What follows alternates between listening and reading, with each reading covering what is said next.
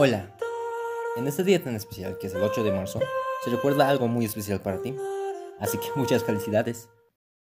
Te vengo a decir que tú eres valiente como una rosa, que aún sabiendo que el viento es más fuerte, haces que brote de tu ser los más delicados pétalos en tu caminar por la vida.